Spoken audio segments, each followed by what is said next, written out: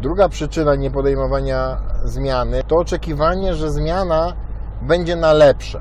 Czyli zaczynam myśleć nad tym, dobra, jaka będzie zmiana, e, więc pojawiają się różnego rodzaju trudności, e, takie, no, no że może nie być całkiem e, tylko miło i przyjemnie. Więc, więc też nie podejmuję zmiany, no bo ja bym chciał zmiany na lepsze.